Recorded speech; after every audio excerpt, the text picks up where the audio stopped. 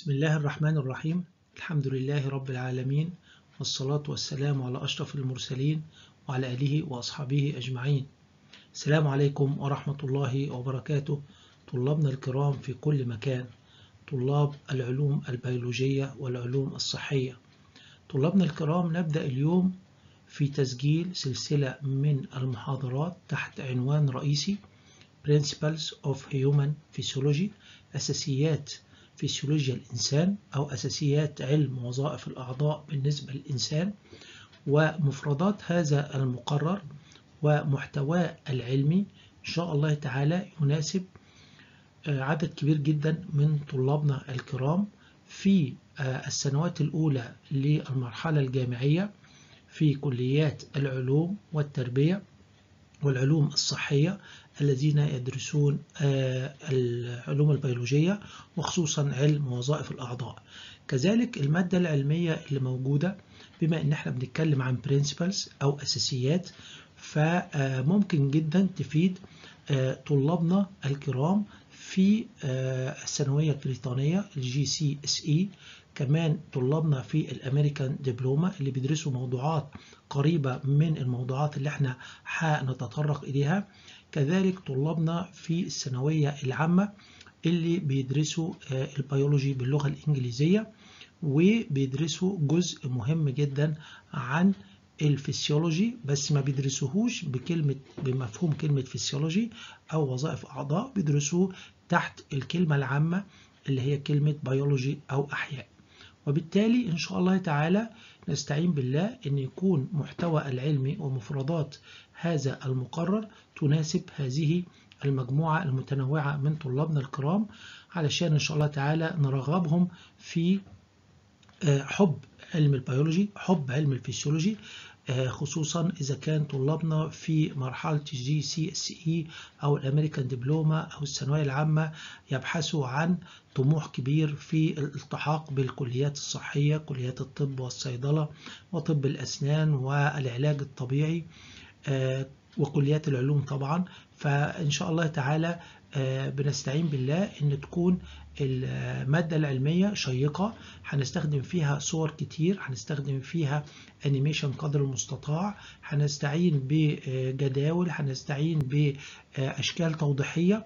حتى يسهل علينا وعليكم توضيح ومفهوم المادة العلمية اللي هنتكلم فيها عن وظائف أعضاء أجهزة الجسم بمكوناتها المختلفة وإن شاء الله تعالى هيكون المقرر متنوع وممتد على عدد من المحاضرات وفي كل محاضرة هنضع العنوان الرئيسي للمحاضرة وقد تشمل أو يشمل العنوان أكثر من محاضرة. يعني مثلا ما نتكلم عن ال nervous system الجهاز العصبي هنتكلم عن nervous system في أكتر من محاضرة فهنقول جنب كل محاضرة part 1 أو part 2 عشان طلابنا يسهل ليهم بسهولة الانتفاع بالمحاضرة مباشرة بدون البحث عن المحتوى العلمي لكل مكون أو لجميع المحاضرات اللي هي خاصة بال principles of human physiology كمان إن شاء الله تعالى ننتظر منكم تعليقات أو feedback عشان نحسن من هذا الأمر ونجود فيه نطور فيه حتى يستفيد منه طلابنا في كل المستويات العلمية اللي بتدرس علم البيولوجي. وزي ما قلنا هنعمل focus عن علم الفسيولوجي اللي هو علم وظائف الأعضاء. كمان بنضيف حاجة معلش ده ال slide الأول اللي بيبقى فيه دايما شرح للي بينضم لينا لأول مرة أو هينضم لينا بعد كده.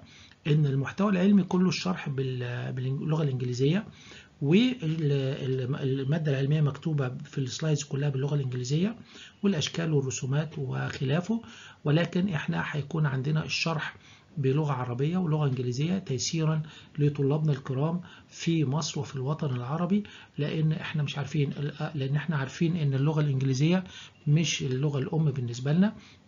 لكنها لغة العلم وفيها المعلومات الجديدة اللي بنحصل عليها من الأبحاث ولكن إحنا برضو مطلوب مننا نعرب ومطلوب مننا إن إحنا نشرح باللغة العربية حتى يكون المفهوم أبسط وأوصل لطلابنا. وأنا عارف إن أنتم ما شاء الله متفوقين واللغة الإنجليزية لا تشكل عائق بالنسبة لكم وكمان اللغة العربية إن شاء الله تعالى هيكون الشرح بيها أسهل وأوضح ونسأل الله سبحانه وتعالى التوفيق والسداد وأن يكون علما ينتفع به لنا ولكم وعمل صالح لنا إلى يوم الدين ولكل أهالينا وأمة المسلمين. بعد الشريحة الأولى بنبدأ في التعرف على محتوى هذه المحاضرة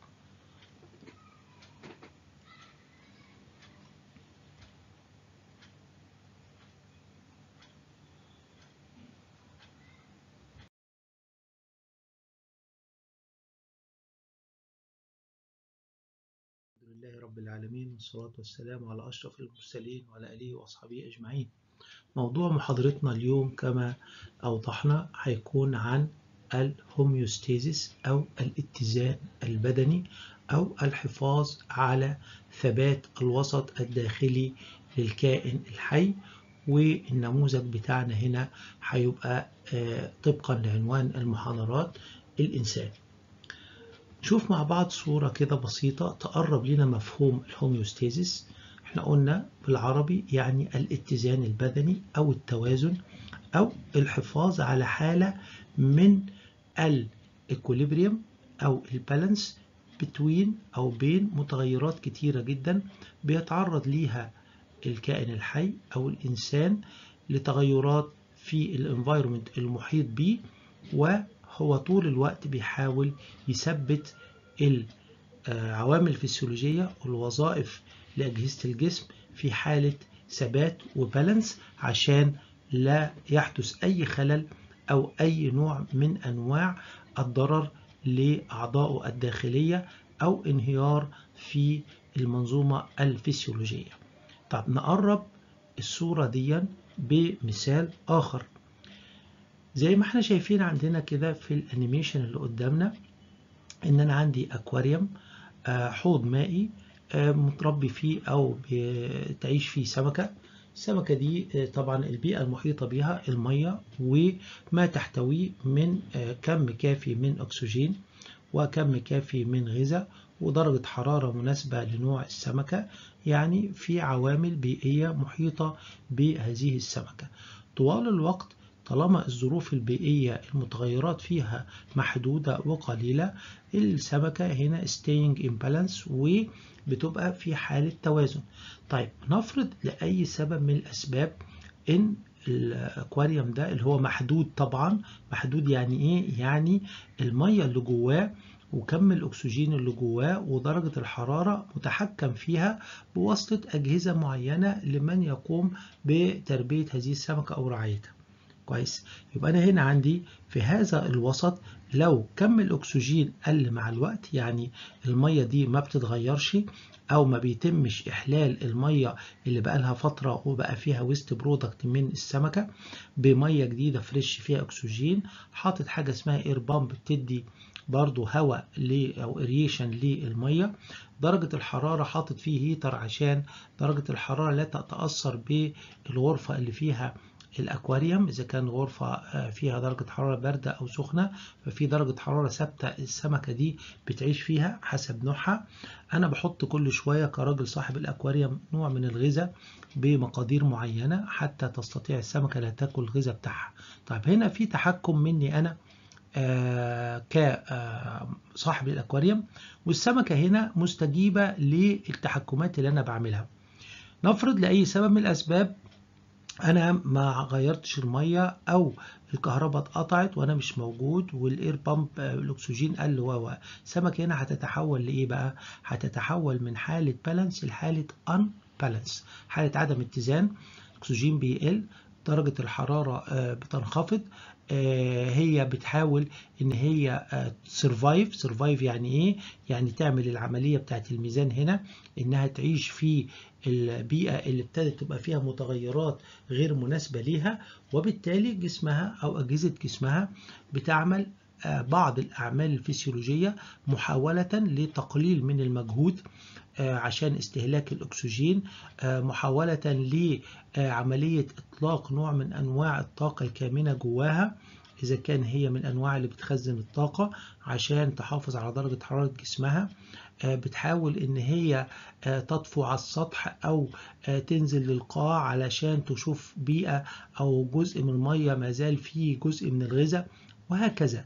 ففي تصرفات السمكة أو الكائن الحي بيعملها اللي هي بنسميها تصرفات سلوكية محاولة لإنقاذ نفسه وفي تصرفات داخلية أو تغيرات كيميائية وحيوية أو فسيولوجية داخلية بتتم بتنظيم معين من جهاز عصبي من جهاز كيميائي زي الغدد الصماء من بعض النظم اللي ربنا خلقها داخل هذا الكائن الحي محاولة للحفاظ على حياته وإعادة حالة البالانس إلى أن المتغيرات اللي حواليه تعود إلى طبيعتها.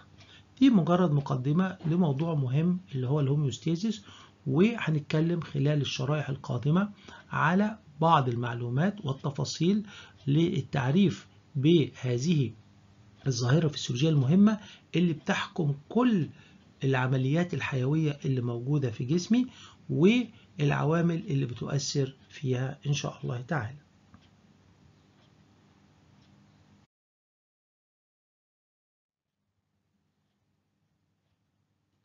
طب نبدأ بالتعريف Homeostasis is the tendency of organisms to regulate and maintain relative internal stability هي قابلية الكائن الحي to regulate يبقى أول كلمة regulation تنظيم. يبقى طول الوقت في عمليات تنظيم. يبقى في ذهني أنا طول الوقت جسمي بيعمل عمليات تنظيم. ليه؟ to maintain relative internal stability. عشان يحافظ على relative. relative هنا كلمة بتقول لي إن مفيش حاجة اسمها في حاجة اسمها relative وفي حاجة اسمها absolute. relative يعني نسبي absolute يعني مطلق. نسبي يعني إيه؟ يعني في range في آه مسافة بيتحرك فيها أي متغير في جسمي. يعني إيه مسافة؟ يعني مثلا هقول البي اتش مثلا بتاعت الدم من 7.4 من 10 ل 7.3 من 10 ففي واحد من 10 range درجة حرارة الجسم الطبيعية من 36 ونص ل 37 ونص 37 ده ال average مثلا ففي range لكن ما فيش حاجة اسمها absolute ما فيش رقم. هو تركيز السكر في الدم الطبيعي من 80 ل 120 مللي جرام على الملي يبقى دي ال range تمام؟ اللي هو ال relative internal stability. يبقى في internal stability هو الهدف الرئيسي لكل عمليات الحيوية أو محاولات ال organism عشان يعمل إيه؟ ينظم ويحافظ على كل الثوابت اللي موجودة بداخل هذا أو هذه المنظومة بطريقة معينة. ناخد برضو مثال نقرب. زي ما إحنا شايفين عندنا في الصورة طائر في بيئة باردة حواليه تلج ريح الطعام شكله قليل الطائر في حالة سكون حركة قليلة فبيحاول في هذا الجو المتغير القاسي اللي هو يعتبر ال external environment فهو حواليه external environment متغير تغير شديد. هو بداخله internal environment. بيحاول يثبت ال relative internal stability بتاعت كل أجهزة جسمه بمنظومة regulation و maintenance عشان يعمل إيه؟ عشان يحافظ على بقائه في هذا الإيه؟ الجو المتغير اللي بيؤثر أكيد عليه. طبعا الآليات اللي موجودة داخل الحيوان هي آليات حيوية سبحان الله. لا ننسى هذا.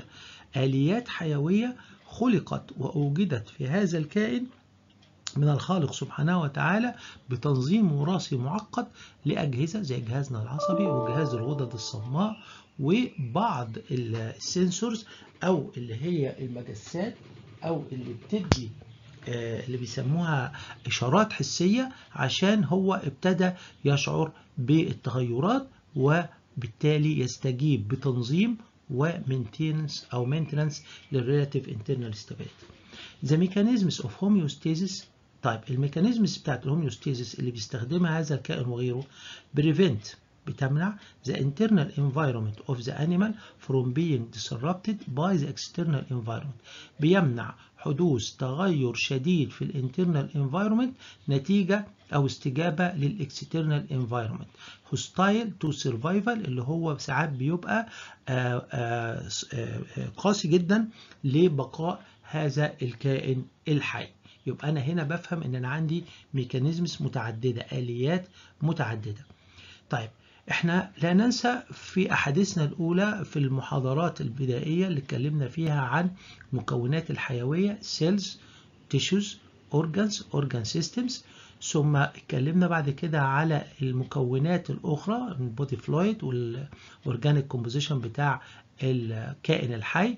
كل دي مكونات تشارك في الآليات المختلفة الخاصة بال homeostasis طيب إحنا قلنا ال cells اللي هي إيه building and functional uh, blocks of life أو unit of life cells experience a relatively constant environment كل خلايا جسمي على اختلاف انواعها خلايا كبد خلايا قلب خلايا مخ دائما وابدا عندها الخبره وعندها القدره to maintain relative constant environment with respect to temperature درجه حرارتها المناسبه اللي هي طبعا زي درجة حرارة الجسم. بي اتش ودي بتختلف من موقع الخلايا خلايا المعدة بي اتش حامضية خلايا تجويف الفم واللعاب و و بي اتش متعادلة تميل إلى القاعدية خلايا الدم تميل إلى القاعدية وهكذا. glucose concentration كمية الجلوكوز اللي موجودة داخل اللي بتديها الطاقة بتاعتها. فخلايا القلب كمية الجلوكوز فيها تختلف عن خلايا مثلا موجودة في منطقة العظم. خلايا جهاز العصبي كمية الجلوكوز اللي فيها تختلف عن الخلايا اللي موجودة مثلا في الطحال وهكذا. يبقى عندي مجموعة من المتغيرات. طب ليه أنا عمال أقول متغيرات وأرجع أقول ثوابت؟ لأن هذه هذه المعايير أو هذه إيه ثوابت الحياة بالنسبة للخلية بتتغير آه بتتغير بس هو طول الوقت بيحاول يظبطها. لأن أنا مثلا glucose concentration glucose concentration ده تركيز الجلوكوز بيجي لي منين؟ بالطعام اللي أنا باكله. طب في وقت أنا ما باكلش فيه طعام glucose concentration بيقل في الخلايا بيبحث عن مصدر آخر يجيب منه جلايكوجين المتخزن في الكبد أو في العضلات وهكذا. ففي تغير عشان أرجع للقيمة الحقيقية. تغير عشان ارجع للقيمة الحقيقية. وده ببساطة شديدة هي آليات ال homeostasis نبص على الصورة اللي ظهرت عندنا هنا. بيقول لي different body systems. الكتير أو ال 11 دول اللي اتكلمنا عليهم. من integumentary system skeletal system muscular system respiratory system whatever. كل ال systems دي تمام مكونة من عدد كبير من الخلايا والأنسجة والأعضاء. طول الوقت ال body system maintain homeostasis بيحاولوا يساعدوا بعض عشان maintain homeostasis ليه؟ is essential for survival of cells اللي هي أصغر الوحدات اللي فيه. ده مهم قوي عشان يحافظ على حياة الخلايا بمكوناتها اللي بتحتويها. كويس؟ طب الخلايا دي بحافظ عليها ليه؟ لأن هي اللي بتعملني أنا. بتعملني أنا ك system. خلايا جهاز التنفسي خلايا الجهاز الهضمي. فأنا كجهاز أنا عندي القدرة للتنظيم العام مع أجهزة أخرى عشان أحافظ على مين؟ على مكوناتي أنا. كويس؟ وهكذا الدائرة دي بتكون دائرة ناجحة لو الإنسان حالته الفسيولوجية مستقرة. هوميوستاسيس يساوي external stable internal environment اللي هو البودي equilibrium. in response to change in external condition الاستجابة لأي تغير في الاكسترنال conditions animal regulate their internal environment regularly تمام. They must do this to achieve homeostasis اللي هو an internal state. هنا برضو صورة تانية عشان نوضح بعض الكلام اللي ممكن ما يكونش لسه وصل لطلابنا الكرام. عندي هنا المربع ده بيمثل ال internal environment اللي هو مجموعة من الخلايا المتنوعة cells of body. كويس. ده internal environment. ناخد مثلا مثال عندنا هذا الطائر الجميل. ده ال internal environment. كويس. وحواليه ال external environment اللي هو ده. كويس. ال external environment نلاقي السهم هنا رسم لي سهم كبير. يقول لي large external fluctuations. في عندي هنا متغيرات واسعة المجال. بمعنى هذا الطائر كان الأسبوع الماضي درجة الحرارة في المكان ده كانت 25 و30 في خلال أيام نزلت لصفر وماينس 10 وتحت الصفر ب 10 درجات. يبقى هنا في عندي large external fluctuations. الطعام كان متوفر من أسبوع الطعام مش متوفر دلوقتي. المية كانت متوفرة من أسبوع المية مش متوفرة دلوقتي. فأنا عندي متغيرات ممكن تكون حادة وكبيرة جدا. المتغيرات الحادة والكبيرة اللي هي بيسموها fluctuations اللي هي متأرجحة تأرجح كبير قوي ما بين قيم عالية قوي تمام في المقابل في المقابل جسمي أنا وخلايا الكائن الحي يجب أن يكون فيها المتغير إيه؟ small internal fluctuations يبقى أنا عندي برة في ال external environment large external fluctuations جوه في جسمي طول الوقت بحاول أخليها small internal fluctuations. بمساعدة مين؟ حاجة اسمها control systems. يبقى ما بيننا إحنا ككائنات حية وما بين ال environment الخارجي عندي control systems أنظمة تحكم. جزء منها بيكون بعض ال body systems زي ال nervous system وال endocrine system زي ما هنشوف مع بعض. يبقى تلخيصا جسمي مجموعة الخلايا اللي فيه اللي بتكون ال body systems طوال الوقت بتحاول تعمل تظبيط regulation و maintaining لل internal stability من خلال التحكم في إن تكون ال fluctuations دائما صغيرة بالرغم من ال fluctuations الإيه؟ الكبيرة أو التأرجح الكبير في التغيرات الخارجية. بيتم ده إزاي؟ شريحة شريحة كده هنفهم الأمور أكثر وضوحا إن شاء الله تعالى.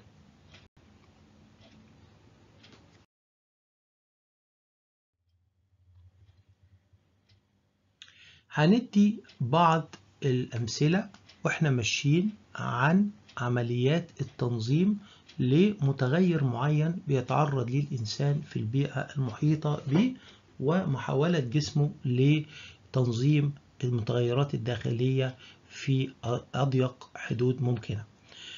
A person endangered by the environment دائما وأبدا الإنسان أو الشخص أو الكائن الحي مهدد بالenvironmental changes اللي حواليه or informed of an approaching pleasure or in danger أو دائما وأبدا بيستقبل معلومات عن حالاته. إذا كان حالة من السعادة أو حالة من الراحة أو حالة من الخطر.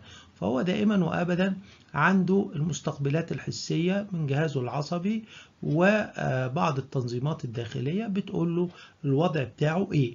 تمام. ولذلك هو بيعمل preparing for action بيحضر نفسه لأكشنز مستمر. The individual may experience shortness of breath. ممكن يعاني من آه صعوبة في التنفس. cold weather sweating يعني عرق شديد shivering رعشة شديدة. trembling اللي هي حركة العضلات ورعشة العضلات اللي موجودة في الرجلين. دي كلها إحنا كلنا حاجات بنحس بيها. يعني لما واحد فينا يحس بقشعريرة في جسمه فجأة القشعريرة دي اللي إحنا بنقول عليها نتيجة مثلا شاف حاجة سمع حاجة فجأة حصل عنده قشعريرة برودة شديدة جت مرة واحدة وهكذا. القشعريرة دي رد فعله من جسمه هو مش متحكم فيه. طيب shortness of breath فجأة كده حاسس إن مفيش أكسجين في الجو أو إن النفس بتاعه ضيق. أو النفس بتاعه فيه صعوبة. فبيحاول ياخد نفس عميق. بيحاول إن هو يجد لنفسه زي ما بيقولوا متنفس أو مكان ياخد فيه كم أكسجين كتير. فجأة يلاقوا رجله حصل فيها cramp أو رجله بتتحرك حركة مفاجئة وترجع تاني لوضعها الطبيعي. كل دي جزء منها جزء منها رد فعل لا إرادي ورد فعل إرادي لأحداث معينة حدثت في جسمه أو متغيرات في البيئة الخارجية وجسمه بيستجيب على مدى قصير أو على مدى طويل أو مدى مستمر لوقت أطول. طيب these physiological manifestations هذه الحالات طبعا دي كلها physiological behavior أو physiological responses فنقول دي الفسيولوجيكال manifestations reflect بتعكس ليا مجهود the effort of the body مجهود للجسم ومحاولة من الجسم to maintain its internal equilibrium نتيجة إنه إيه؟ sweating. sweating ألاقي نفسي عمال أعرق أعرق. أنا مش قادر أتحكم في العرق. أنا عمال أعرق ليه؟ له أسباب. من أهمها أسباب الحرارة الشديدة أو الجو اللي فيه الشمس قارصة عليا جدا وأنا بره أو إن أنا بعمل مجهود رياضي عنيف أو في بعض حالات الخوف الشديد. تمام؟ بعرق. مش قادر أتحكم في العرق ده بس جسمي بيعمله عشان محتاج إنه يرطب من درجة الحرارة الداخلية أو يهدئ من عمل بعض الأجهزة في جسمي. كويس. يبقى دي physiological manifestations ولا لأ؟ تمام. بتعمل إيه؟ بتعكس لي رد فعل لحالة معينة داخل جسمي عشان يحدث العرق مثلا الشديد اللي عندي ده. بعد شوية الجو اتلطف شغلت تكييف شغلت مروحة ابتدى الجو عندي إيه؟ في جسمي. يحس ب أو جسمي يحس بال environment اللي حواليا ابتدت درجة الحرارة فيه تبقى كويسة تبتدي العرق يخف معايا مع الوقت. بس بحتاج بعد كده إيه؟ ألاقي جسمي بيطلب شرب مية كتير قوي. بلاقي نفسي بروح أشرب مية كتير. ليه؟ عشان أعوض العرق. إحساسي بشرب المية ده reflection برضه و effort من جسمي عشان يقول لي هات لي المية اللي أنا خرجتها في العرق. تمام؟ طيب هنشوف هنا مثلا في ال cooling body temperature الشخص ماشي الدنيا حر فبيعرق. فال main mechanism عندي sweating عشان أقلل الإحساس بدرجة الحرارة. كمان بيحصل dilating of blood vessels blood vessels اللي موجودة على ال skin أو القريبة من الجلد. بيحصل لها دايليتيشن تتسع عشان الدم وهو جاي محمل بمية. لازم الدم فيها مية كتير. فبتساعد على خروج المية دي في الغدد العرقية وترطيب الإيه؟ الجلد وإعطاء للجسم الداخلي درجة حرارة مناسبة بيخرج درجة الحرارة الموجودة في جسمي اللي أنا بتعرض ليها من الشمس امتصاها جسمي بيطلعها بره في المية اللي طالعة. كمان المية اللي طالعة مع الهواء اللي ممكن يكون موجود في الجو بتديني إحساس بإيه؟ بالبرودة. هقول لكم كمان مثال كده بنعمله إحنا ساعات. ساعات كده وأنا حران أقوم آه رايح آه فاتح آه المية حنفية المية أو أجيب إزازة مية وأغسل وشي. أنا بغسل وشي بمية. زيها زي العرق. المية دي لما بغسل بيها وشي بترطب جلدي والهواء اللي موجود في الانفايرمنت حتى لو هواء سخن بيعمل نوع من أنواع البرودة مع المية اللي أنا غسلت بيها وشي. زيها زي العرق. العرق ده أكنه المية اللي أنا بغسل بيها وشي بس طالعة من جسمي. تمام. نيجي على آه نيجي العكس. الشخص آه تعرض لبرودة شديدة أو راجل عايش في مناطق باردة جدا. هو محتاج هنا إيه؟ محتاج عكس الحالة دي. إيه عكسها؟ ان أنا محتاج ادفي جسمي. هنا كان محتاج ابرد جسمي. Warming body temperature. هيحصل shivering shivering اللي هي الرعشة بتاعة البرد. تمام؟ فبلبس باخد احتياطاتي وبلبس بعض الملابس ودي طبعا تصرف مني إرادي. تمام؟ كمان جسمي هيعمل إيه؟ بدل ما هنا كان عامل dilatating أو dilating آه لل blood vessel هيعمل constriction لل dermal blood vessel ويقلل كم الدم اللي خارج للجلد عشان يقلل ال blood flow اللي رايح للجلد عشان أحافظ على الدم يلف في الأعضاء الداخلية وفي العضلات عشان الدم كده فيه حرارة محتاجها داخليا ومحتاج مش محتاج أفقد حرارة مع برودة الجو في الإيه؟ المكان اللي أنا عايش فيه. هنشوف مع بعض جدول سريع بيقارن الحالة الفسيولوجية ما بين شخص في هوت ويزر وشخص في كولد ويزر طبعا هو إنسان وده إنسان. في ال hot weather هيحصل vasodilatation في ال vasodilatation اتساع في الأوعية الدموية. ال arterioles dilates enlarge بتكبر في في ال diameter بتاعها. so more blood enter skin زي ما قلت لكم دم كتير هيروح لل skin الجلد هي الطبقة الخارجية اللي متعرضة لدرجة الحرارة. capillaries and heat is lost. وبيفقد حرارة عن طريق العرق وعن طريق الايه الدم الكتير المتدفق للجلد. العكس في حالة البرودة. حالة البرودة ال arterioles get smaller بتقل في ال diameter to reduce blood عكس الحالة اللي هنا. Going to skin keeping core warm بتخلي الدم إيه يلف داخليا بالحرارة اللي شايلها من مختلف أعضاء الجسم بتاعي. طيب في حالة ال hot weather في reaction فيسيولوجي تاني اللي هو ال sweating هنا هيبقى عكسه ال shivering sweating اللي هو بيحصل عندنا ال gland secrete اللي هي sweating gland secrete sweat اللي هو العرق which remove heat اللي هو بيطلع ال heat من الحرارة من من المية اللي جاية في الدم وتغير الحالة بتاعتي. العكس في ال cold weather shivering اللي هو الرعشة اللي هو محاولة من الجسم لبث الدفء في العضلات وفي السطح الجلدي الخارجي. Rapid contraction and relaxing of skeletal muscles heat produced by uh, respiration وال heat بينتج عني نتيجة عملية ال shivering وال respiration السريع. هنا هيحصل في ال hot weather اللي هي حاجة اسمها pilorelaxation وهيحصل العكس في ال cold weather piloerection ماشي؟ piloerection هنا ال pilorelaxation اللي هو this means the hairs flattened ال hair اللي موجودة في الجلد flattened العكس الناحية التانية ال hair stand up في ال cold weather uh, stretching out وهنا curling up هنا by opening up the body was a larger surface area بيحصل إن الجسم بيتعرض ل زي ما بنقول stretching حتى إحنا اللبس بنخففه ونعرض جزء كبير جدا للحرارة الجو الخارجي عشان يطلع الحرارة في جسمنا. في عكس حاله الكولد ويزر طبعا زي ما إحنا شايفين تاني في عندنا صورة بتقرب الحالة اللي إحنا قلناها أو الحالة الفسيولوجية دي. ادي الشخص في وضعه الطبيعي يا إما هذا الشخص يتعرض لحرارة شديدة جو حار يا إما برودة شديدة. وهو طول الوقت بيحاول إن هو ينظم حالته عشان يرجعها للوضع الطبيعي اللي هو يحافظ فيه على ال internal stability بنوع أو بال mechanisms اللي إحنا شرحناها هنا في هذا الجدول. هذه ال actions may be voluntary ممكن تكون voluntary ممكن تكون آه إرادية زي drink water when one is thirsty اللي هو شرب المية نتيجة العرق الشديد. To eat when hungry إن أنا آكل لما أحس إن أنا جعان أو مستوى السكر عندي قل. فدي دوافع إرادية بروح ناحية الأكل بروح ناحية الشرب بفكر في هذا الأمر بدافع من جهازي العصبي وأروح أنفذه. To put on clothing when cold كمان لبسي للجاكيت التقيل والكوفية والحاجات دي كلها قبل ما أخرج ده فعل إرادي. أنا بحاول إن أنا أغطي نفسي بحاجات تحفظ حرارة جسمي.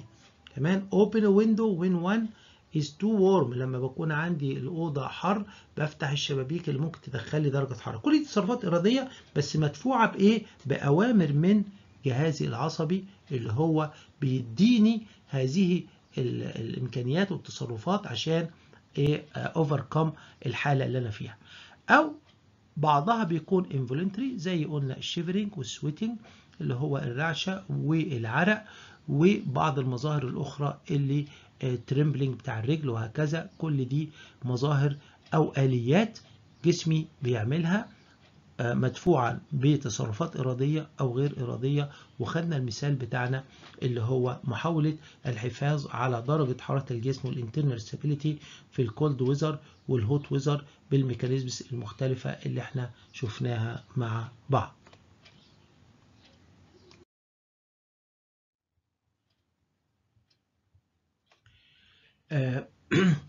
دلوقتي هنعرض مع بعض إن ال homeostatic mechanisms operate at all levels وبنذكر مع بعض ودائما وابدا بنحاول إن إحنا طول شرحنا لمفردات الفسيولوجي إن نتكلم عن كل مكونات الجسم بدءا من ال molecular وال atomic level وصعودا لل macromolecules وال cellular content زي الاورجانيلز والتيشو والاورجان والاورجان سيستم عشان نبقى فاهمين إن ال homeostatic mechanisms operate at all levels molecular cellular tissues organ and organ systems وال internal of uh, homeostasis ونقدر نقول عليهم ال main internal component ال concentration of oxygen and carbon dioxide تركيز الأكسجين وال carbon dioxide في الدم عندنا وفي خلايا جسمنا.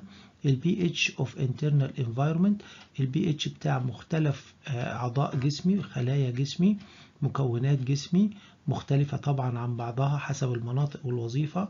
concentration of nutrients and waste product دائما وأبدا في حالة من المراقبة لحالة المكونات الغذائية المتوفرة لخلايا الجسم إمدادها بالطاقة وعمليات البناء والتمثيل الغذائي والمواد المتراكمة من ال waste products أو المواد الإخراجية وضررها على الجسم ووجوب خروجها من الأجهزة الخاصة زي الكليتين وزي المية اللي بتخرج زيادة عن العرق وزي ثاني أكسيد الكربون اللي بيخرج من الرئتين وهكذا.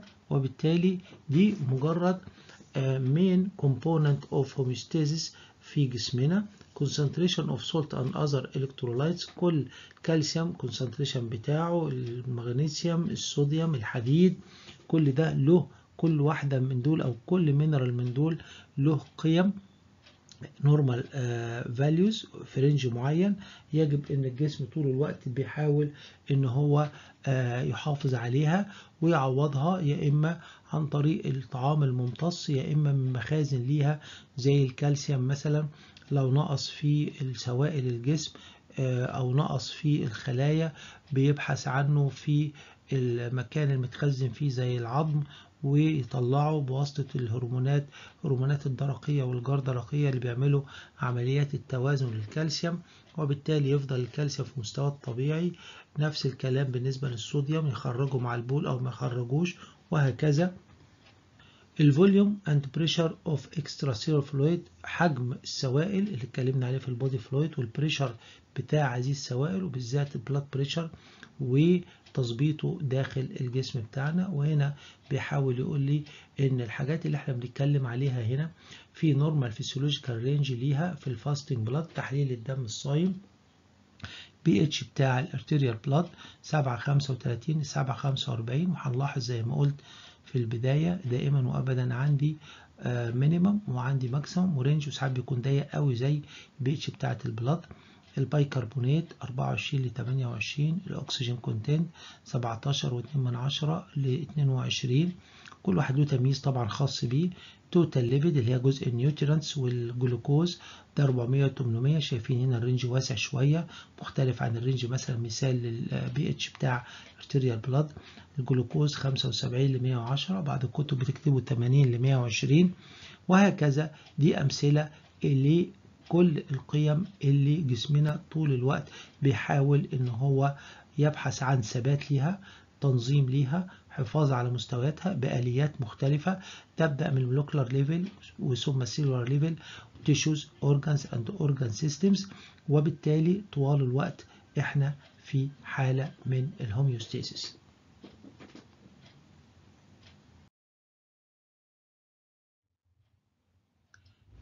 Normally the organism is always in homeostasis. ده اللي أنا قايله في الشريحة الماضية. إحنا دائما طوال الوقت في حالة homeostasis.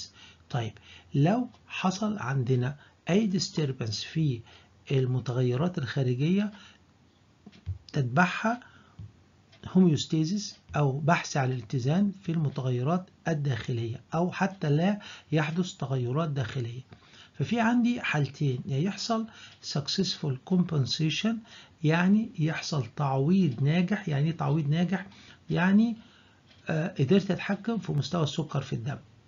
كويس؟ يعني أنا في حالة صيام في حالة جوع شديد في حالة مجهود شديد مستوى السكر ابتدى يقل ابتديت على طول أنا في جسمي أدي أوامر لهرمونات زي الجلوكاجون من البنكرياس. وبعض الهرمونات الأخرى ال glucocorticoids من ال cortex adrenal cortex تطلع لي الجلوكوز اللي متخزن في الجلايكوجين.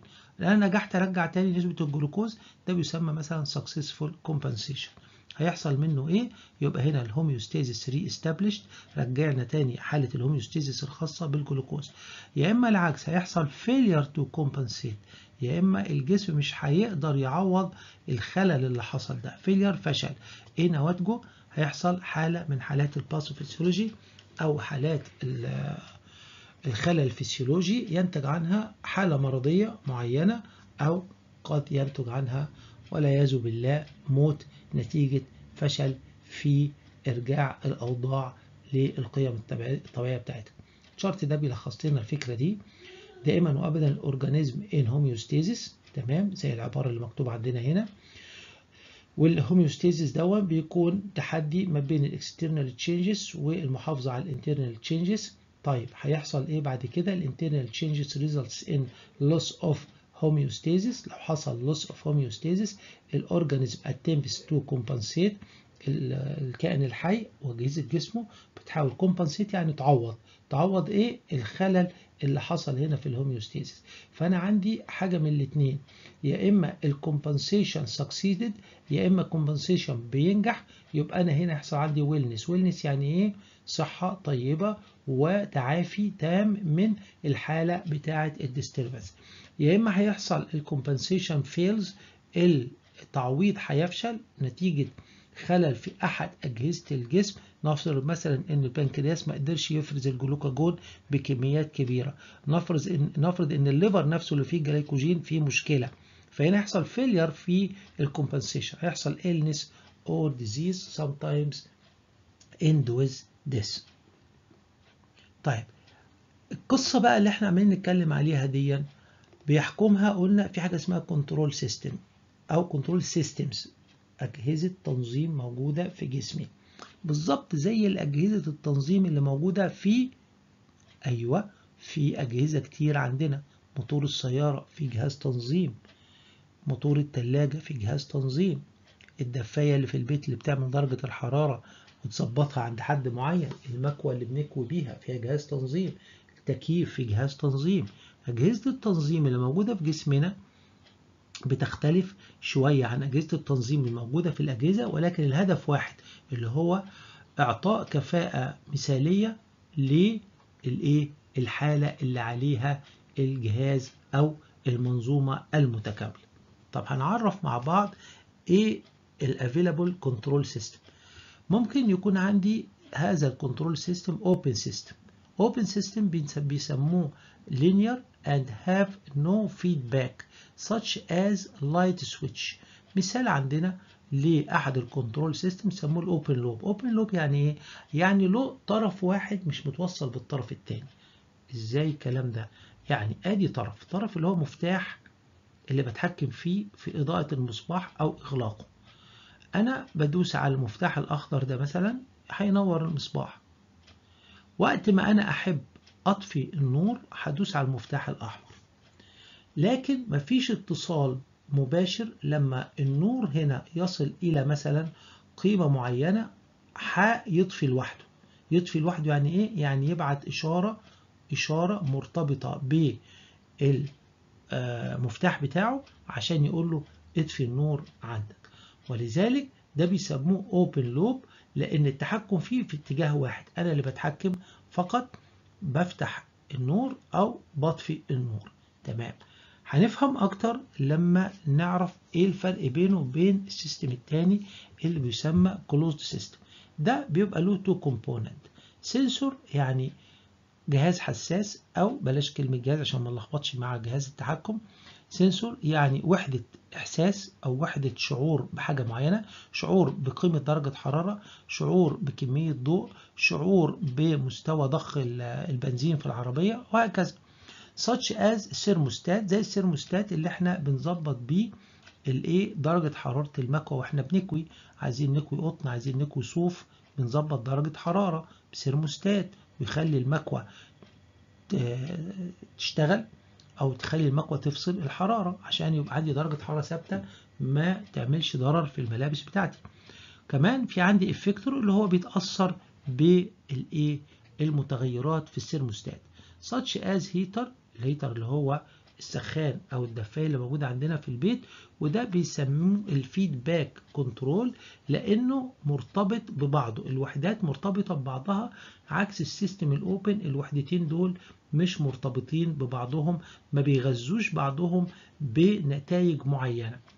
Most physiological systems معظم الأنظمة الفسيولوجية في جسمنا بتستخدم هذا النظام الإعجازي اللي هو ال feedback اللي هو بيسموه بالعربي أو الترجمة تغذية رجعية. يعني ناتج بيؤثر في المسبب الحدث. وهنفهم أكتر من الكلام اللي أنا بقوله بعد كده. To maintain the body's internal environment. عندنا قلنا في الأجهزة المنزلية الهيتر. هيتر الدفاية في أثناء الجو البارد بنشغل دفاية ونظبط درجة حرارة معينة عشان درجة الحرارة بتاع الدفاية ما ترتفعش قوي. الدفاية ممكن تدار وإحنا كمان درجة الحرارة العالية دي ممكن إيه تؤثر علينا. إيه اللي بيحصل؟ إن أنا بيكون عندي سيرموستات اللي هو بظبطه على مثلا 30 درجة. كويس. 30 درجة بلاقي الدفاية في نور نور معناها في كهرباء دخلت على الدفاية عشان تخلي السخان بتاعها يسخن وتطلع لي حرارة. بعد مرور وقت معين في sensor ال sensor اللي موجود في الدفاية هيحس إن الدفاية وصلت 30 هو هيدي feedback signal هيدي إشارة رجعية لمين؟ للمفتاح اللي جوه الدفاية اللي بيخليها توصل كهرباء أو تفصل كهرباء. توصل أو تفصل. ففي الحالة اللي وصلنا ل 30 هيديها إشارة هي اوتوماتيك تفصل كهرباء. تفصل كهرباء يعني إيه؟ feedback يعني إحنا كده وصلنا للرقم اللي إحنا محددينه. بعد مرور 10 دقائق درجة حرارة الغرفة اللي كانت وصلت 30 نزلت ل 28 السنسور اللي موجود في الدفاية هيحس بالفرق الدرجتين دول. هيعمل إيه؟ هيدي إشارة فيدباك نتيجة انخفاض درجة الحرارة للمفتاح اللي موجود في الدفاية عشان يوصل الكهرباء من جديد والاقي لمبة نورت والاقي ابتدت الحرارة ترجع تاني. كويس؟ فهنا عندي ادي الدايرة المغلقة اللي هي قصدنا بيها ال feedback اللي بيختلف عن ال open system. فعندي اكشن يعمل effect ال effect هو نفسه يؤثر في ال action. action يعمل effect ال effect نفسه يؤثر في الاكشن. وهكذا الدايرة دي دايرة مغلقة وتسمى التغذية الرجعية.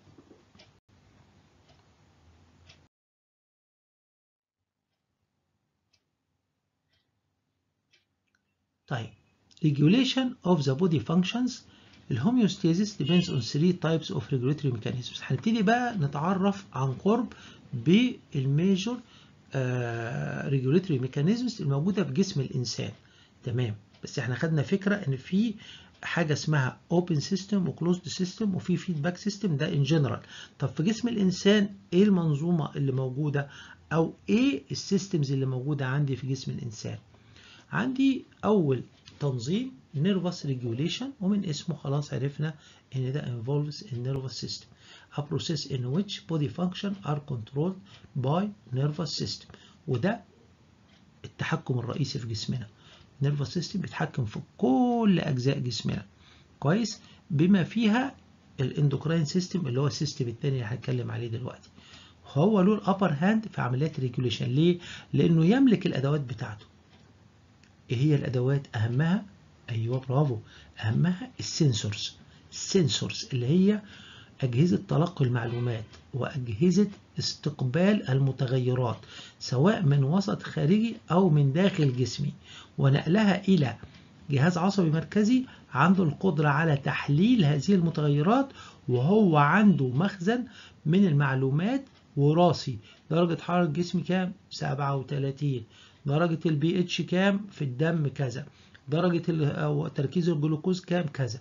فيبتدي هو يدي الأوامر بقى بصورة مباشرة للأعضاء اللي هتعمل لي تعويض للتغير اللي حصل. ميزة هذا ال system إيه؟ it responses fast. تأثيره سريع جدا عشان كده ده بتاع الامرجنسي ده بتاع الطوارئ ده بتاع إن هو بينقذ الجسم من حاجات كتيرة جدا. طبيعة عمله كده إشارات عصبية في أجزاء من الثانية بتوصل الإحساس بالمتغير وتوصل رد الفعل بإيه؟ بما يجب حدوثه لإنهاء هذه الحالة من الخلل. act exactly or locally كمان بيشتغل على مناطق محددة بمعنى إنه الهدف بتاعه منطقة واحدة ثابتة اللي جاي منها الحدث اللي جاي منها التأثير يعني مثلا لما نيجي نقول نسبة ثاني أكسيد الكربون عليت في العضلات أو عليت في القلب بدي مثال ثاني أكسيد الكربون عالي ده غلط إزاي يعلى؟ لا ثاني أكسيد الكربون ده المفروض يخرج هيحصل إيه؟ لازم أدي أوامر لل mechanisms أو الآليات اللي هتخلي في سرعة لتخليص الجسم من ثاني أكسيد الكربون وإخراج أو تعديل البي اتش وإخراج عملية اسراع في عملية التنفس الزفير على أساس أخرج ثاني أكسيد الكربون. تمام.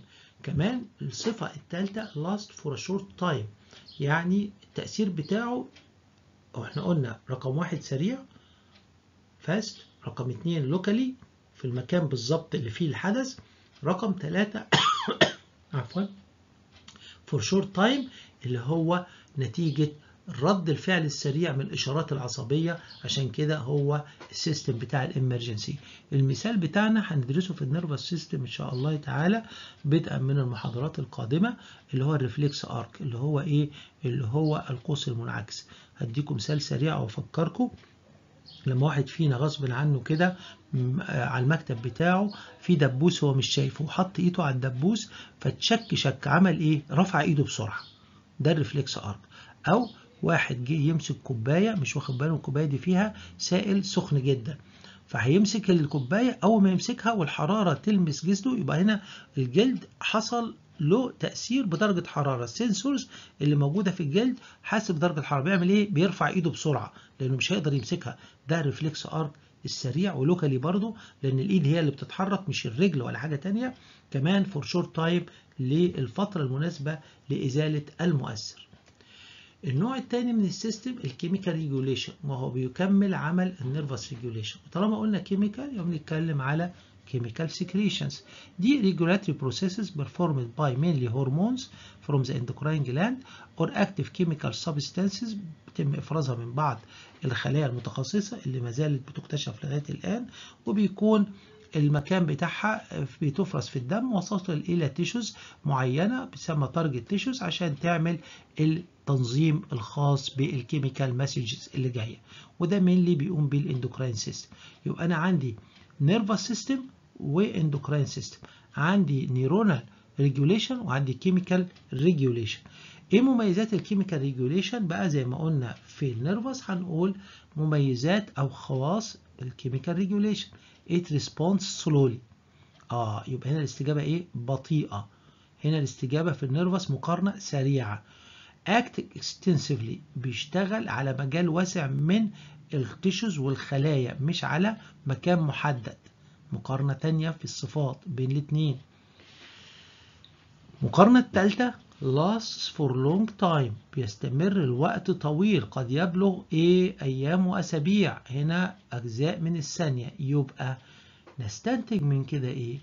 إن ال nervous regulation له خواص تؤهله أو تسمح له بالتنظيم السريع جدا المحدد جدا لوقت قليل جدا.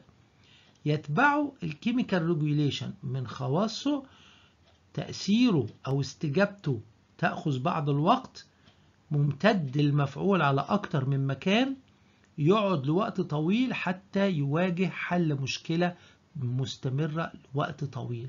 ولذلك الاثنين بيكملوا عمل بعض في الحفاظ على ال homeostasis لتقريبا كل المنظومات الفسيولوجية اللي موجودة في جسمنا. وهناخد أمثلة وإحنا ماشيين في المحاضرة. ثم إن شاء الله تعالى لما نتكلم عن كل system لوحده بقى بخواصه بتركيبه بطريقة عمله بوظائفه هنذكركم بالقصة بتاعت الايه ال homeostasis ال system الثالث وهو الأقل استخداما في المنظومة الحيوية اللي هو ال auto regulation وده تنظيم ذاتي على في منطقة معينة بتعمل التنظيم الذاتي ليها. A tissue or an organ can directly respond to environmental changes that are independent of nervous and hormonal control. يعني بيحصل في منطقة معينة في tissue معين في organ معين بيعمل respond to environmental change لتغيير في environmental change or internal change بغض النظر عن nervous أو ال endocrine regulation ملوش دعوة بالاثنين دول. تمام. ال example بتاعنا maintain a constant blood flow despite changes in perfusion pressure وحالات ال inflammation ال inflammation هي الالتهاب أو maintaining a constant blood flow بعض الأعضاء والخلايا بتحتفظ أو بتحافظ على ال blood flow في الأجزاء الخاصة بيها بالرغم من ممكن يكون تغير في ال perfusion pressure اللي إيه اللي الدم بيجي فيه. أكثر وضوحا ال inflammation ال inflammation اللي هو التهاب. أفكركم أكيد كل واحد فينا اتعور في حياته لتعويرة أو جرح صغير في إيده أو في رجله أو في وجهه أو أو. بيحس بعد شوية من الجرح ده إن الجرح أحمر إن الجرح فيه شوية سخونة صغيرة إن المكان بتاع الجلد شكله اتغير. ده اللي بيسموه inflammation وده تفاعل موضعي. عشان كده اسمه auto regulation تفاعل موضعي من الخلايا لمسبب التغير اللي هو الجرح قطع في الجلد ده تغير في التركيب بتاعي. وبالتالي ابتدت تخش عندي بعض الميكروبات اللي كانت ممنوعة من الدخول لما كان الجلد سليم. حصل إيه؟ استجابة مناعية inflammation بتواجد بعض الخلايا المناعية عملت إفرازات معينة بتواجه البكتيريا عشان تقضي عليها قبل ما تنتشر في الجسم. فده auto في المكان نفسه وحل سريع لمتغير محدد من صفات ال auto regulation ال amplitude بتاعه amplitude of the regulation is smaller than the other two types ال amplitude بتاعه أقل في الحدة بتاعته. ال extension of the effect is smaller than the other two types وامتداد مساحة تأثيره أقل من ال other two types ولذلك هيتبقى لينا إن إحنا نقول ال regulation الميزان أو ال equilibrium بنفكر بيه the ability of an organism to maintain a stable internal condition in a constantly changing environment in the human body. These three regulations الثلاثة دول have coordinated coordinated بتتناسق مع بعضها أو بتنسق العمل مع بعضها and act as one system known as feedback control system. عشان كده ننتقل في الشرائح القادمة لإلقاء نظرة أكثر تفصيلا أو أكثر شرحا لل feedback control system اللي موجود في جسم الإنسان أو بيستخدموا إزاي ال chemical regulation وال hormonal وال nervous regulation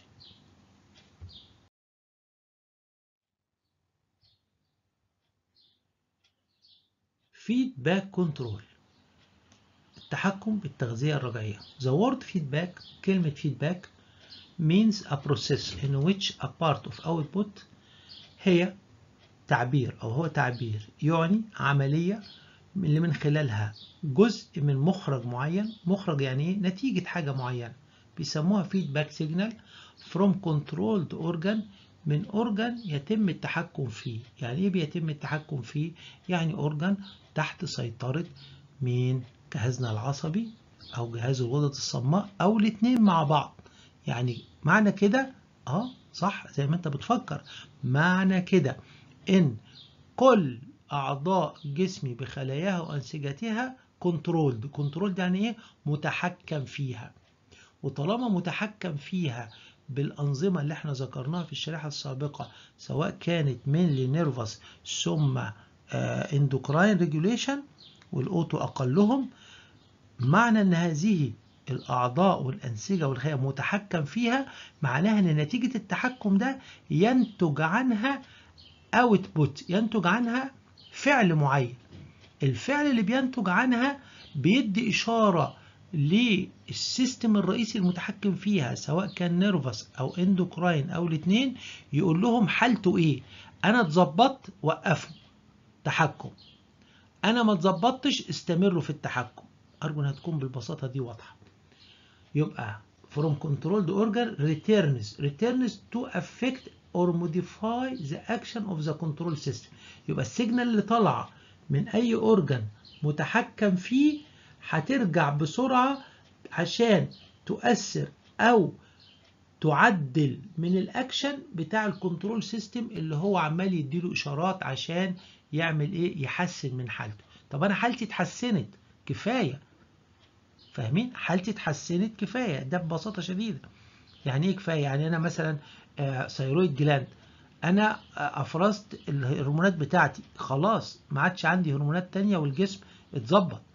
هل هتفضل في إشارة تجيني من الغدة النخامية تقول لي افرز؟ لا ده أنا. الهرمونات اللي خرجت عندي دي هي نفسها جزء منها يروح للغدة النخامية عن طريق الدم ولها بطلي إثارة ليا أو بطلي أكشن ليا. يبقى ده affect or modify the action of the control system برضو الأمور يمكن توضح لاحقا للي لسه ما وضحتش له Regulatory processes that maintain homeostasis in cells and multicellular organisms depend on these feedback loops.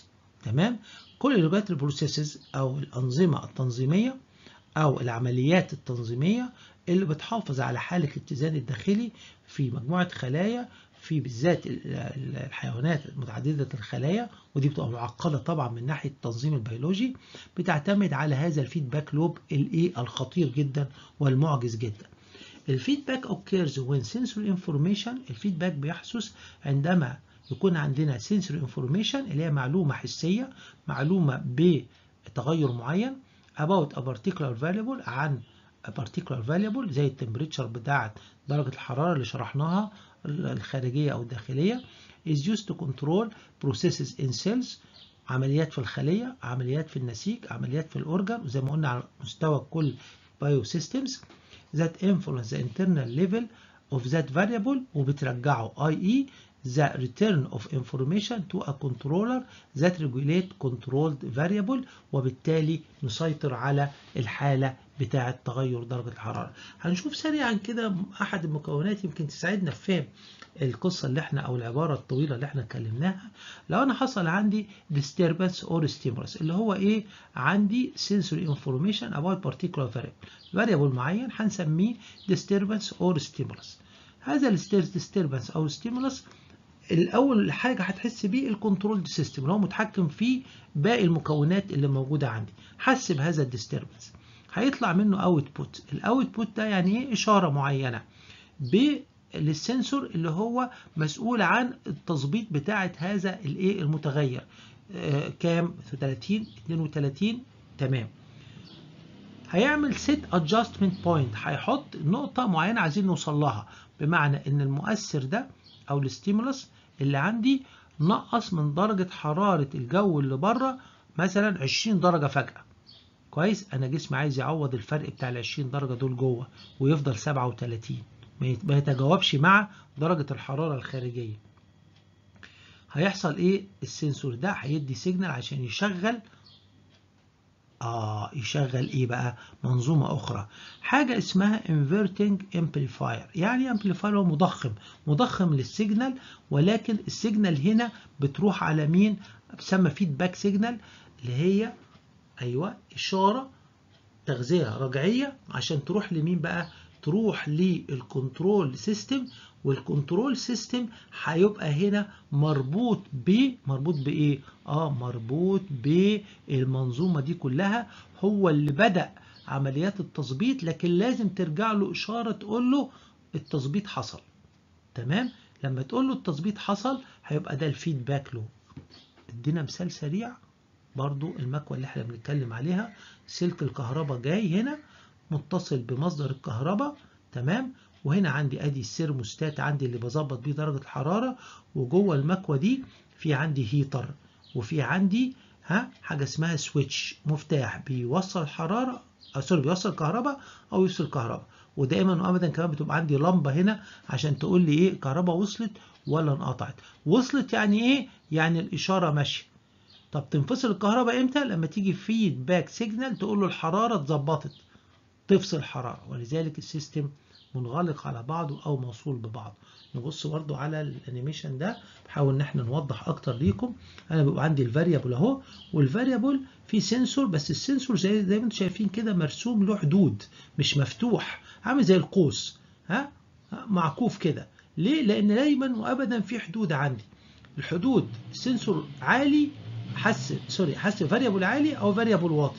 variable واطي له effect معين على ال controller وال effector يشتغل حصل تغيير هيبقى ال sensor يروح في الاتجاه الآخر. وهكذا ال variable ده لازم يكون في حالة balance ما بين قيم قليلة أو قيم ترتفع عشان تحصل إشارة لل controller هو اللي عارف يرجع إمتى فيحاول إن هو من خلال effector معين أو من خلال مؤثر معين يرجع الوضع إلى ما هو عليه. برضو إن شاء الله تعالى هتوضح أكتر.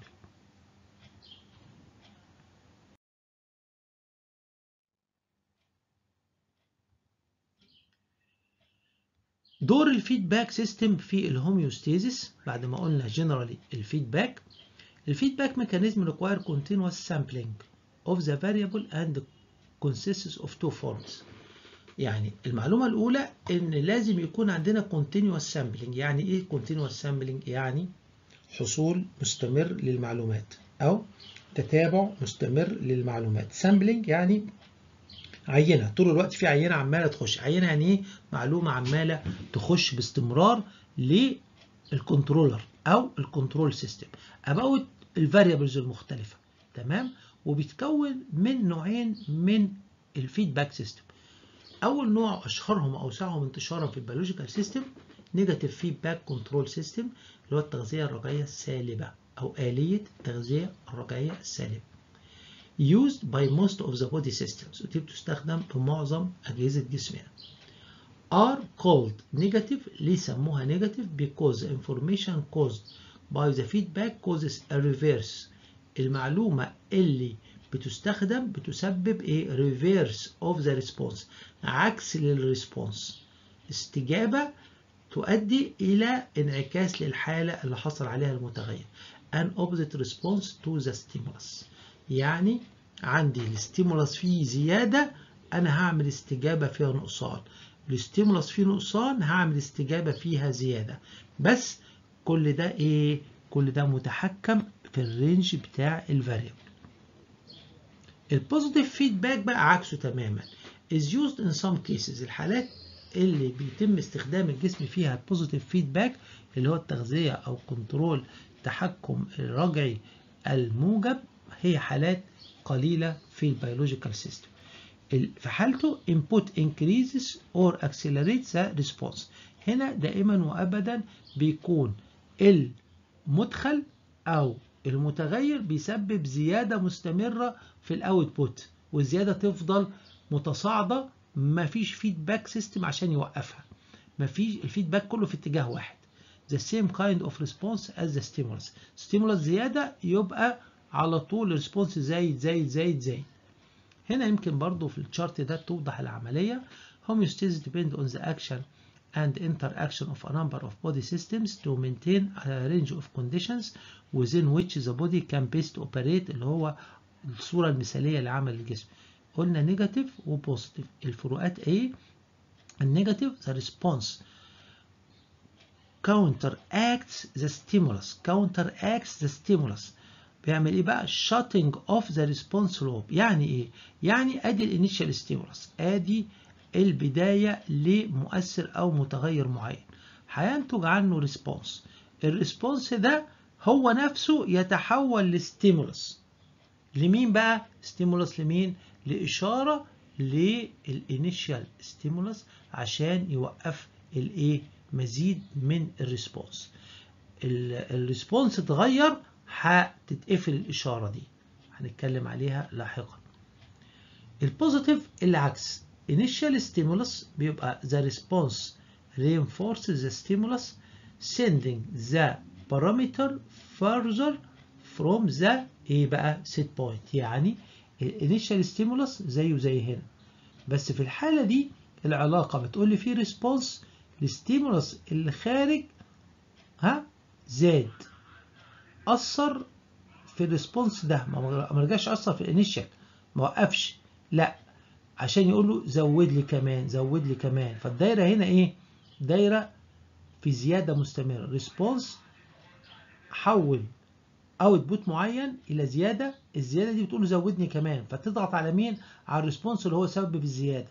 فزيادة في زيادة مستمرة اللي هو بقى an outside factor is required to shut off feedback cycle. طب ال cycle دي هتستمر إلى ما لا نهاية؟ آه. بيقول لي إلى إن يجي factor خارجي يوقف الايه العلاقة اللي فيها اتجاه واحد من الزيادة. هنا العلاقة فيها نوع من أنواع التحكم عشان تقلل من ال response كلما كان عندي ال stimulus ده وصل للحد المطلوب بتاعه.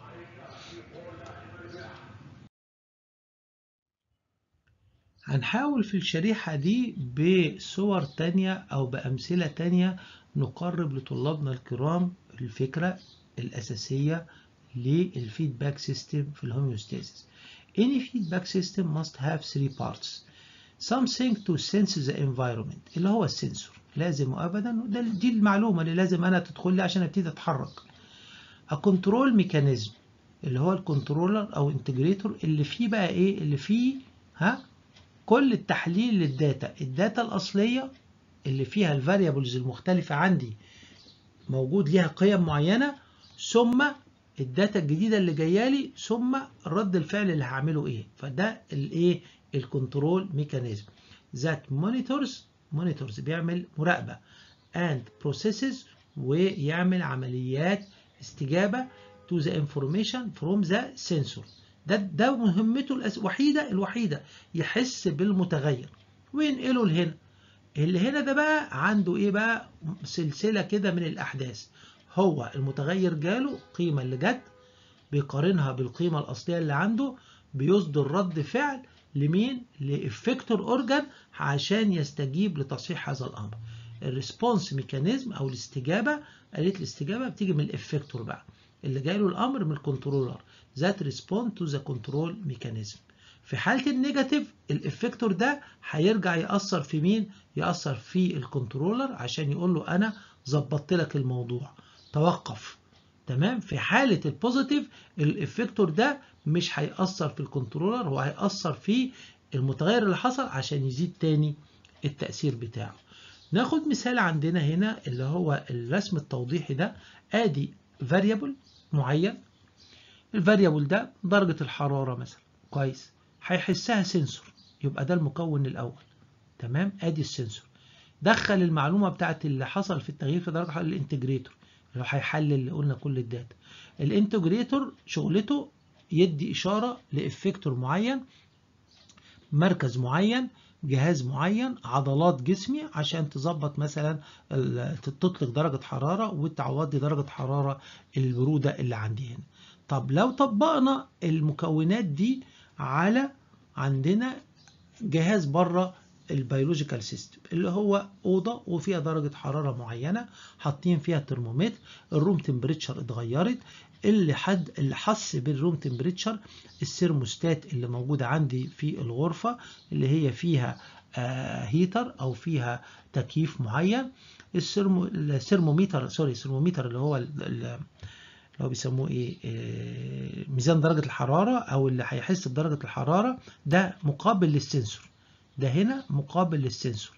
حس بالفرق في درجة حرارة الغرفة هيروح على السيرموستات اللي هو ال integrator اللي عندي. درجة الحرارة إحنا كنا مظبطينها على كام؟ مؤشر حاطينه على 30 تمام. ودرجة الحرارة بتاعة الغرفة كام دلوقتي؟ 35 زيادة أو 25 أقل. أنا عايز أرجعها لل 30 هيدي إيه؟ إشارة لل furnace سواء كان بقى عندي دفاية أو cooling system أو اللي هو ال effector عشان يرجع لي يظبط لي الدرجة اللي كانت مطلوبة عندي. طب بالنسبة لل biological system الوضع ده إيه؟ ال body temperature اللي هي مقابلة لل room temperature اللي هي مقابلة لل variable كويس. هنا عندي كان sensor هنا كان عندي ثرمومتر هنا nerve receptor ممثل لل sensor اللي هو إيه بقى؟ اللي هو مستقبل الحسي. هيدي إشارة لمين؟ ال integrator بتاعنا في جسمنا مين؟ ال brain الجهاز العصبي المركزي. هيدي إشارة لل effector اللي هو مكان الدفاية هنا أو ال air condition. هيديها لل muscles اللي هي تنتج طاقة كبيرة عندي عشان تظبط درجة حرارة الجسم. يبقى دي المكونات ارجو ان هي تكون واضحة بهذا المثال آه اللي موجود عندنا في الشكل الواضح.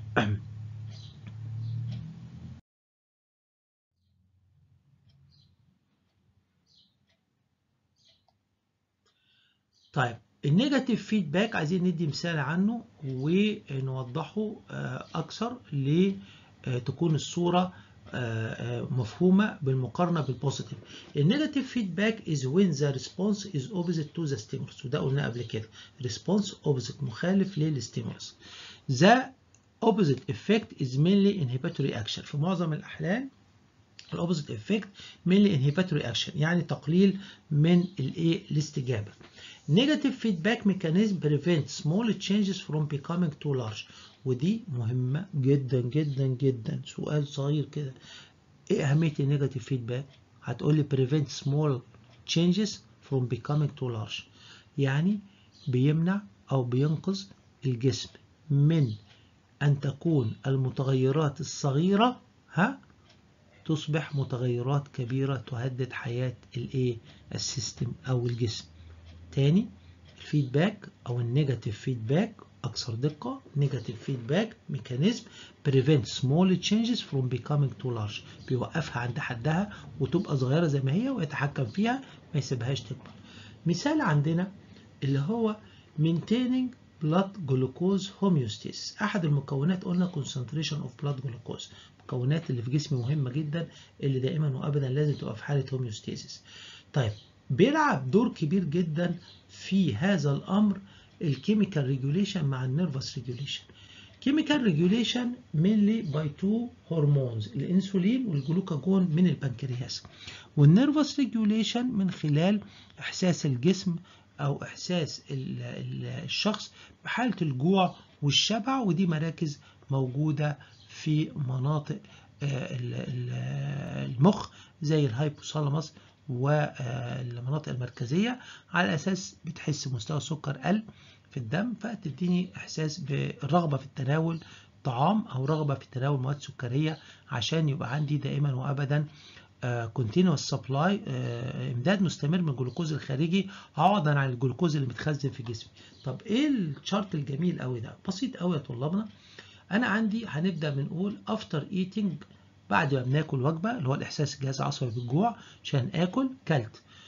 ال glucose enters the blood stream الجلوكوز نتيجة الهضم اللي حصل عندي. نموذج هنا بس بيقول لي ده جزء أهو من جهازنا الهضمي. حصل امتصاص للجلوكوز نزل في الدم. هنا عندي مؤشر زي الإيه بقى؟ ها؟ تمام. اللي هو ال sensor اللي عندي. ال blood glucose زاد. راح في اتجاه ال plus sign. تمام؟ طب الجلوكوز اللي نزل هنا في الدم خلاص تمام ماشي. أنا جلوكوز في الدم. مين مستني الجلوكوز ده؟ خلايا جسمي كلها. طالما أنا أكلت وتناولت طعام أو كنت جعان تناولت طعام معناه ان خلايا جسمي محتاجة لهذا الجلوكوز؟ طب الجلوكوز اللي موجود في الدم ده عايز يوصل لخلايا جسمي عشان تستفيد بيه. هيحصل إيه بقى؟ لما الجلوكوز يعلى مستواه في الدم عن الوضع الطبيعي اللي هو قبل تناول الطعام قبل تناول الطعام طبعا بعد التناول الجلوكوز عالي قوي. ده بيدي بيدي إيه بقى؟ بيدي إثارة للبنكرياس لخلايا محددة تسمى خلايا بيتا في البنكرياس بتخليها تفرز الإنسولين اللي هو الشريط اللي باللون الأصفر ده. The high level of blood glucose in the blood stimulates. يبقى هي الإثارة جت أهي.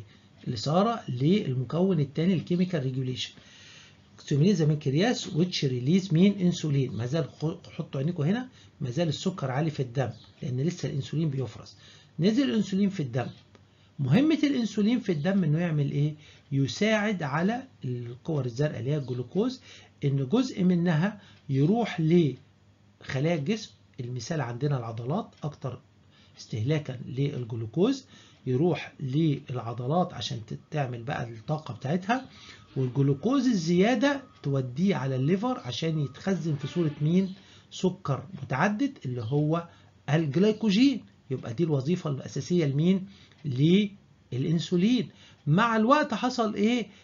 كم الجلوكوز اللي كان هنا واضح إنه كتير ابتدى يقل فين؟ في الدم بس مش هيقل قوي. هيقل لغاية ما يصل لمين؟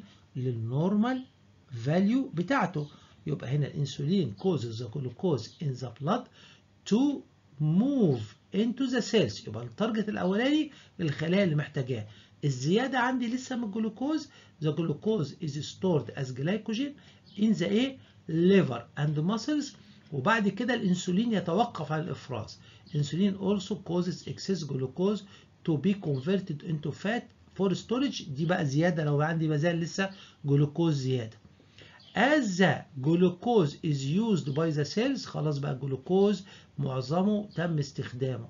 The level of glucose in the blood decrease. نبص بقى هنا على المؤشر. سنسور قل في هنا أي احتياج لإفراز الإنسولين؟ لا مفيش. مفيش أي احتياج. كويس؟ فالجلوكوز لما يقل في الدم الإشارة تصل إلى الإنسولين sorry إلى البنكرياس وقف بقى. فما عادش في عندي هنا دور للبنكرياس. يبقى دي لازم ال feedback هنا مهمة ولا مش مهمة؟ مهمة جدا. وإن لو الإنسولين ابتدى أو استمر في الإفراز مفيش حاجة وقفته هيحصل إيه؟ إن مش هيبقى في عندي جلوكوز في الدم خالص. يهبط الجلوكوز تماما وده خطر جدا يؤدي إلى غيبوبة السكر وساعات الوفاة. طيب مع مرور الوقت مع مرور الوقت أنا خلصت الأكل بقى دلوقتي أربع خمس ساعات هيحصل إيه؟ وما أكلتش تاني. The low level of blood glucose مستوى الجلوكوز لما هيقل بقى في الدم ويبتدي بعد ما كان وصل هنا لل normal ابتدى يقل بعد أربع خمس ساعات. هيحصل إيه بقى؟ هيدي إشارة cause the pancreas لخلايا أخرى اسمها خلايا ألفا عشان تفرز هرمون تاني يسمى جلوكاجون اللي هو باللون الأخضر ده. فالجلوكاجون هنا هينزل في الدم. كويس. ومهمته إن هو يدور على مين؟ على مخازن الجلوكوز. فين موجودة؟ اللي خزنها الإنسولين في الكبد. هيذهب للكبد مباشرة. ويقول له الجليكوجين اللي عندك ده رجعه لي تاني مين؟ جلوكوز ونزله فين؟ في الدم. لما هينزله في الدم يبتدي مستوى يرجع تاني للمستوى الايه؟ الطبيعي. ادي الجلوكوز اهو المؤشر رجع هنا. تمام. الجلوكو الجلوكاجون causes the liver cells to break down the glycogen and release it into the blood عشان ينقذ الايه الجسم من نقص في الطاقة. البلاد جلوكوز begins to rise. طب begins to rise هل يفضل يرتفع على طول؟ ما لو ارتفع على طول هنا برضو مش صح. هيحصل إيه؟ لما يصل إلى المستوى العادي هيبتدي إشارة للبنكرياس وقفي جلوكاجون طيب زاد الجلوكوز مع الوقت في إشارة بقى هتروح لمين؟ للإنسولين يرجع تاني يعمل الدور بتاعه. عشان ياخد الخلايا الجلوكوز ده ويوصله لمين؟ ويوصله زي المرحلة دي لل muscles عشان تستخدمه. هنا بقى فاكرين الشكل اللي إحنا شفناه هناك لما كان الجزء بتاع ال sensor اللي هو الإحساس بتاع مثلا خلايا البنكرياس مع جهازنا الهضمي بمستوى الجلوكوز بعد الهضم ووجوده في الدم. وعندي limit معين فوق و limit معين تحت ده ال upper limit ده ال lower limit هيعمل afferent pathway اللي هو إشارة صادرة وإشارة واردة. عندي controller system في خلايا بيتا وخلايا ألفا عشان تطلع الأنسولين اللي هيدي العضلات الطاقة بتاعتها واللي هيخزن الزيادة عندي في الكبد وال variable تاني عمال يتغير. وادي ال effector وادي ال pathway ل negative feedback control مع تنظيم الجلوكوز في الدم.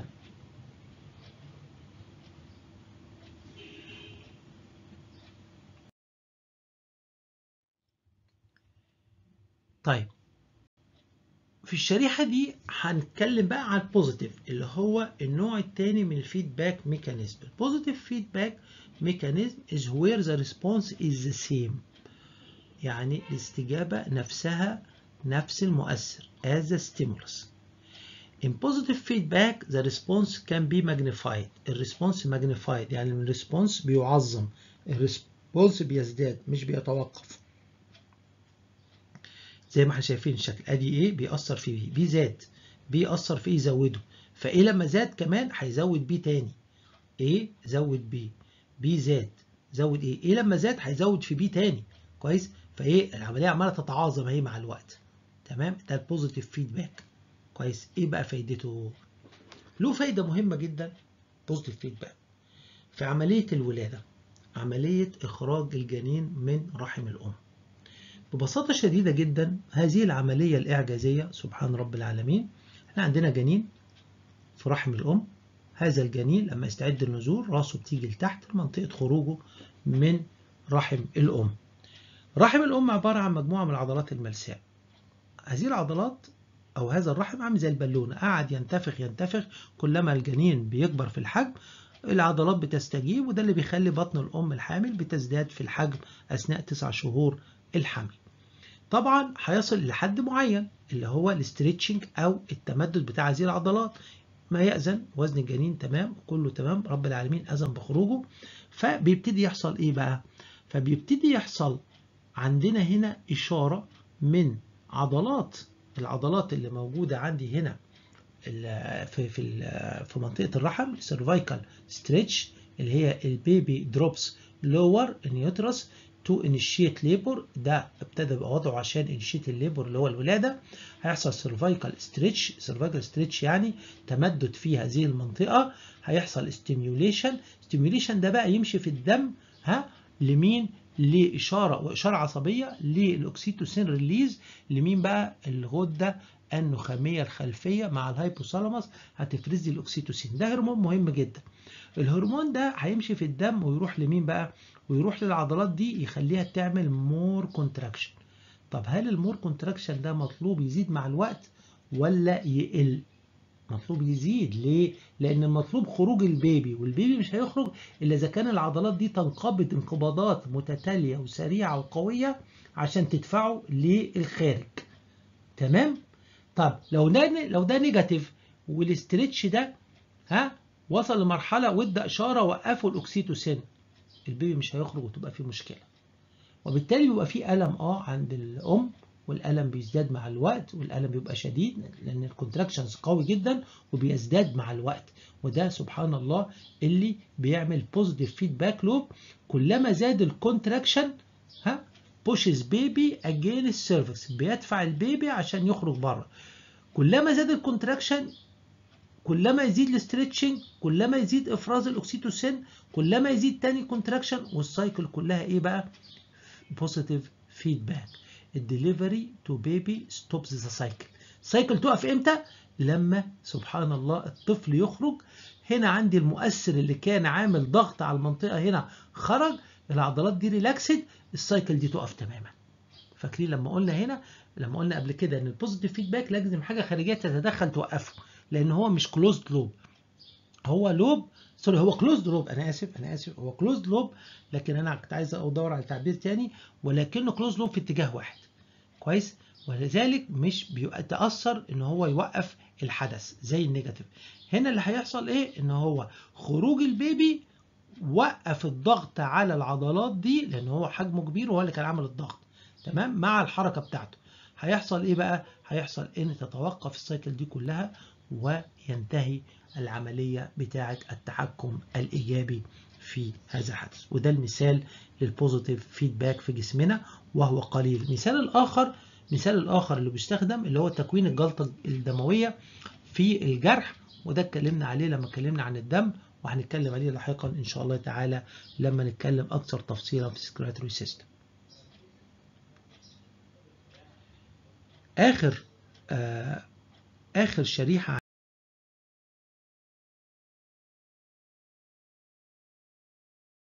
عندنا هنلخص فيها موضوع النهارده محاضرة النهارده المهمة جدا لأن على فكرة كل الفسيولوجي القائم اللي هتدرسوه معانا وتدرسوه في, في كلياتكم وفي مدارسكم وفي معاهدكم كله قائم على ال homeostasis ال physiology الحديث هو homeostasis إزاي بندرس الوظائف المعقدة للخلايا وال tissues وال organs وال organ system عشان نوصل لل homeostasis in conclusion the physiological function of the whole body عشان كده بقول لكم أهو.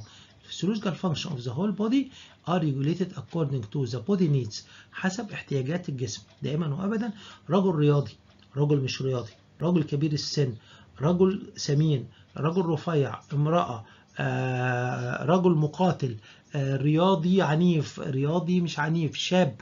body needs دي ال body needs بتاعت كل مين؟ كل فئة معينة. محتاجة تظبيط معين. سبحان الله. And in response to the changes in the internal and external environment وده يحدث دائما. إحنا مش عايشين في وضع ثابت. تمام؟ كويس. من نعم ربنا علينا إنه عمل لنا أو خلق لنا two main regulatory mechanisms اللي إحنا قلناهم اللي هو مين عشان واحد يقول أنت قلت واحد تالت قلنا ال main هما ال nervous regulation by nervous system characterized by rapid onset and short duration of action نحفظهم دول chemical regulation by hormones vitamins enzymes اي chemical compounds ion gases كل واحد بيعمل دوره and chemical uh, transmitters زي transmitters نواقل العصبيه عشان كده بنسميها chemical regulation characterized by having slow onset and long duration of action وبالتالي أنا عندي ال two system السريع والوقت قليل والبطيء والوقت طويل. فأنا جسمي under complete control. عفوا. The two regulatory mechanisms are complementary to each other.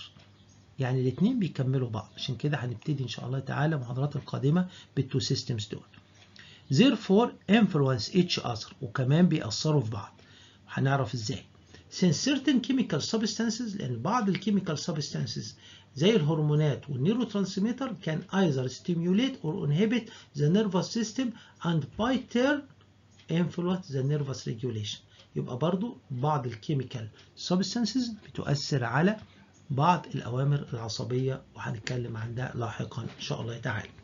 On the other hand, stimulation of the nervous system leads to the release of chemical substances, the hormones, which influence the chemical regulation والمثال الرئيسي اللي عندنا واللي دايما كل الكتب بتتكلم عنه اللي هو ال hypothalamus pituitary gland axis العلاقة ما بين ال hypothalamus اللي هي جزء مهم جدا من ال brain وال nervous system علاقتها وسيطرتها على ال pituitary gland اللي هي ال master gland اللي بتؤثر على مجموعة كبيرة من الغدد ونقل المعلومات ما بين ال nervous system عن طريق ال hypothalamus بإفراز hormonal transmitters تؤثر في anterior pituitary gland posterior pituitary gland عشان هم بدورهم يؤثروا في غدد أخرى وهكذا سبحان الله علاقة تكاملية فائقة الإعجاز عشان يحصل homeostasis وتناغم لكل أعضاء جسمنا بخلاياها وأنسجتها ومكوناتها الداخلية عشان الجسم دائما وأبدا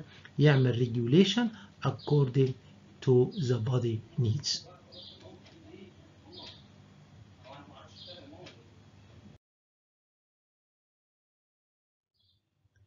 دي نهاية محاضرتنا محاضرة الرابعة في سلسلة Principles of Human Physiology وكانت مخصصة لموضوع ال homeostasis اللي هننتقل منه إن شاء الله تعالى للجهاز الأول من أجهزة الجسم اللي هنتطرق ليها ربنا يكرمنا ونقدر نوفي بعهدنا معاكم.